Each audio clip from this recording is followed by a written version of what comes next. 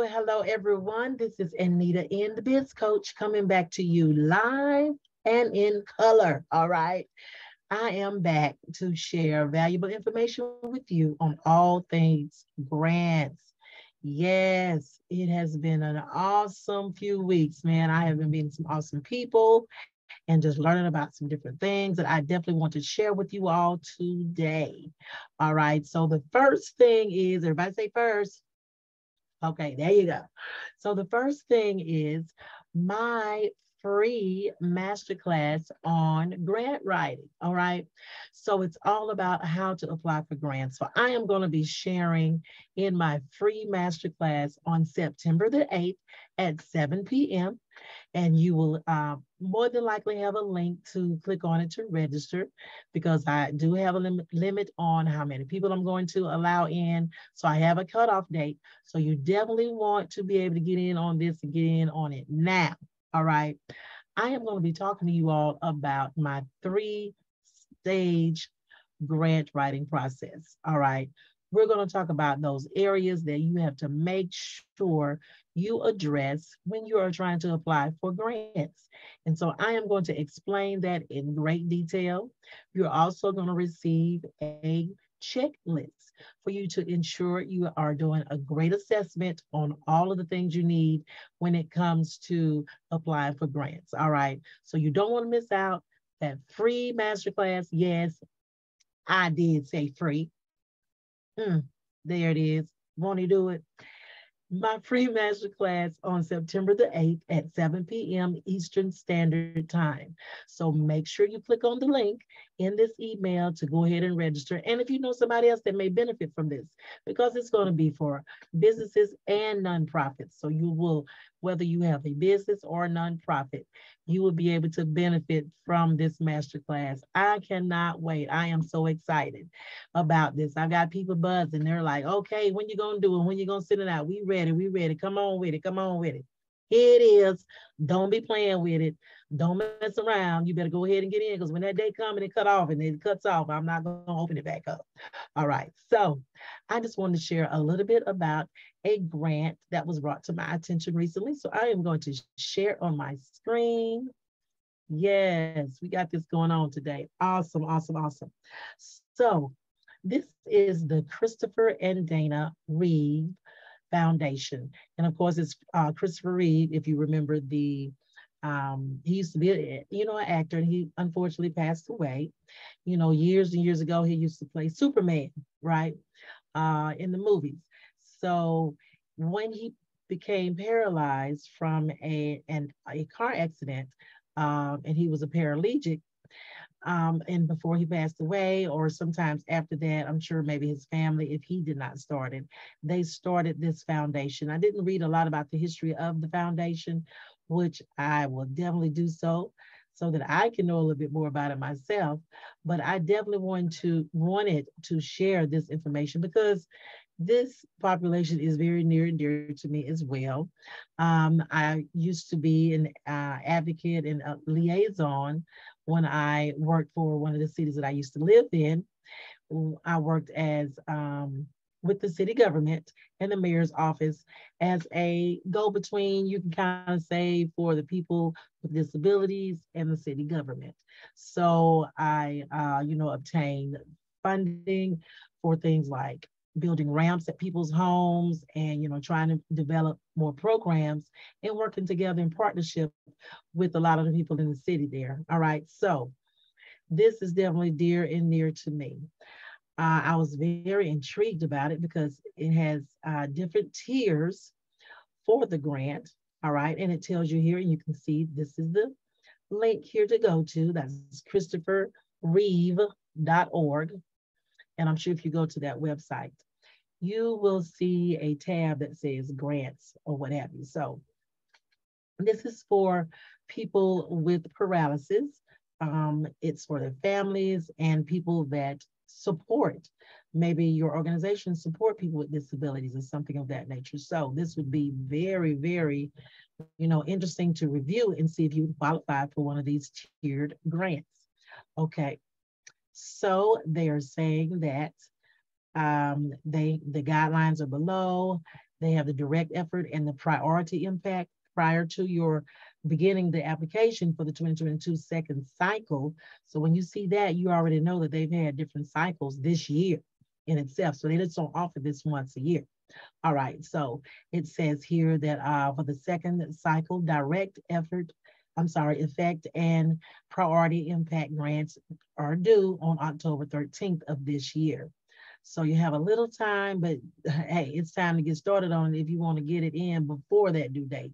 Because that, let that always be your goal. You don't want to wait to the last minute because believe me, when you wait to the last minute, more than likely something's going to be forgotten or it's something you're going to need that you're going to have to try to rush and get. And you don't want to cause that kind of stress in your life. Believe me, I know. so you want to make sure that you get in on this as soon as possible. If you think you're you're you as an individual or family or organization would qualify for this, okay? So it talks a little bit more about the direct tier, which is tier one. I'm sorry, direct effect, which is tier one. And then the priority impact, which is tiers two through four.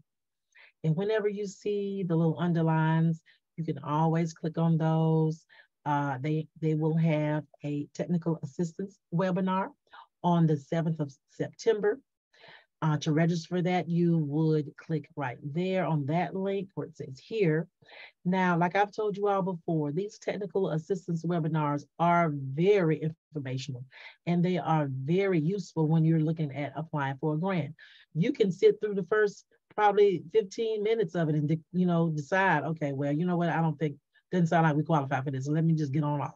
You know, it can be very helpful for you to develop uh, or even even if you don't apply for it, just to learn about how different grant applications and grant proposals are presented in different things that you would need. It's free; they don't cost anything.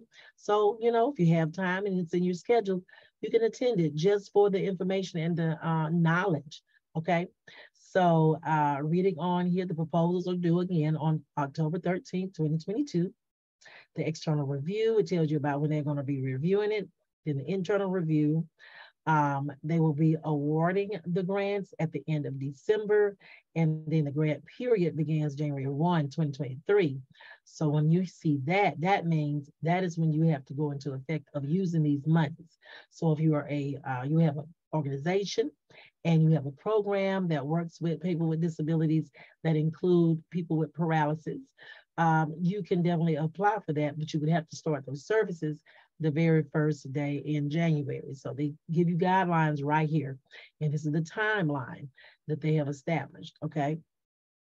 So it goes on to say the quality of life grant application process. It describes the different tiers here. The direct effect tier one grants up to $25,000, meaning that's the cap. So they give smaller grants under that as well and it's to support a wide array of programs and activities. Okay, it says in, in addition to that, they have also created priority impact grants. And that is, oh wow.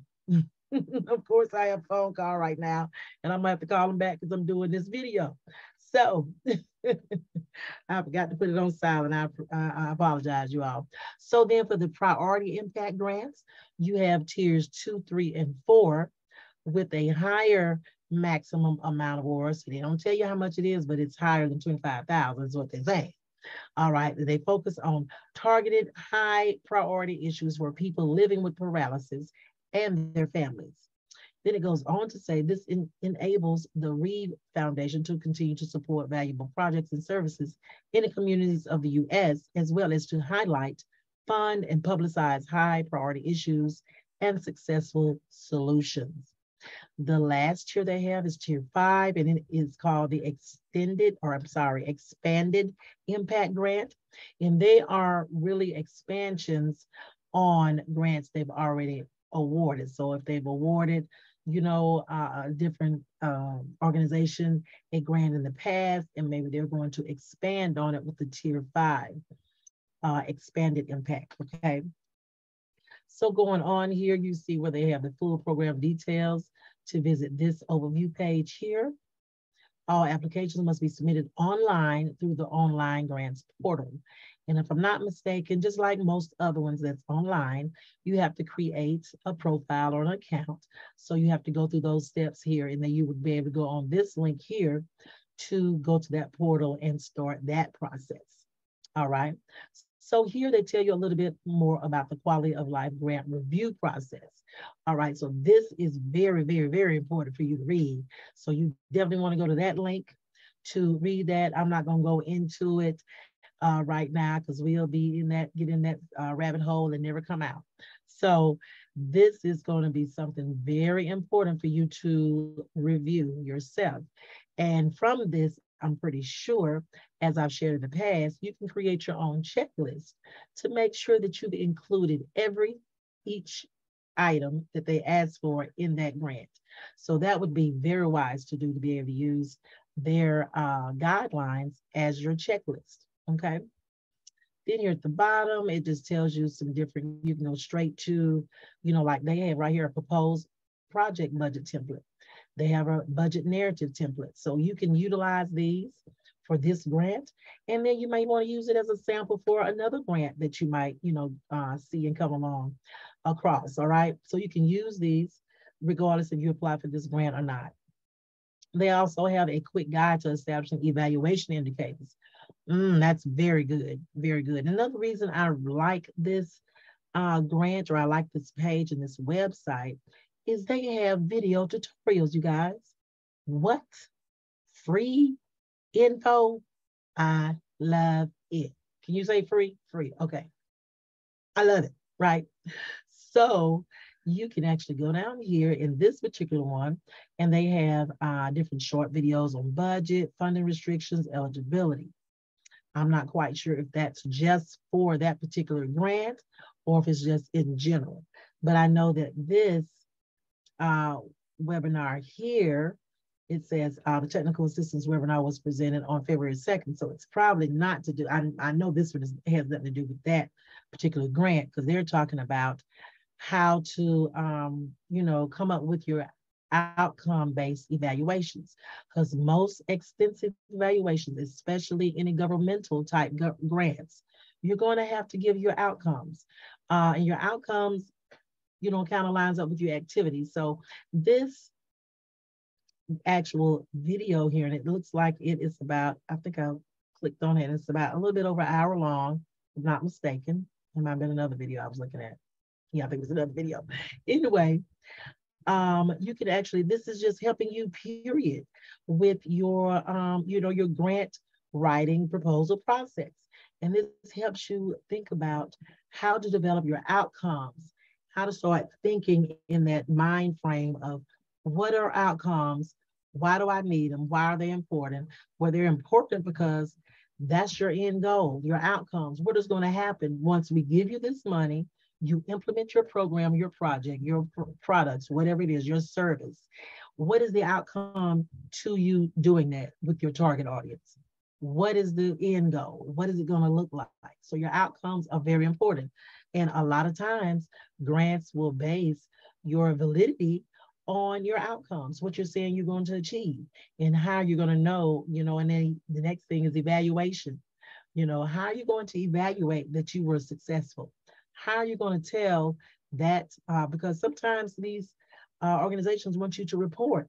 You know, you have to have uh, a formative or a summative uh, report, outcomes report, right? And evaluation. So you have to really take these things serious. These people ain't just giving out money. Everybody love to say, "Oh, we're getting money for free, free money, free money." Okay, it's free, but guess what? Come with free money. Y'all already know, especially working with the government, they want to know, they want to see what you're doing, where, where is it going? Did it do anything? Did you accomplish the things you said you was gonna do? Did you mis misappropriate some funds? You can't be playing with these people money. That's a whole nother animal for another day. We won't even go down that rabbit hole. Okay. So this is an awesome, awesome website. I love it. I love it. I love it. So again, this particular grant is from the Chris and Dana Reeves Foundation. And this website again, and you can see it up here in my browser, is christopherreeve.org. And once you go to that website, I'm sure they'll have a link or a tab or something you can go to to get to their uh, foundations, or better yet, even Google it. All right. I love Googling stuff, you know. Yeah, I love it. I love Google. I love free. I love things of that nature. So I love knowledge. But anyway, it is awesome to be able to come to you all again and share. And uh, I look forward to next time again. Don't forget to register for my free masterclass. We're going to be talking about my three stage grant preparation process. You're going to love it. It's going to be information packed. You're going to receive your workbook and everything to go along with it as we're going through the class. And it's going to be an awesome opportunity to be able to learn more about the grant writing process. Okay. So until next time, you guys take care and continue to go after that money. All right. All right. So let me just see how to end this thing here. All right. Y'all have a good one. Thanks so much.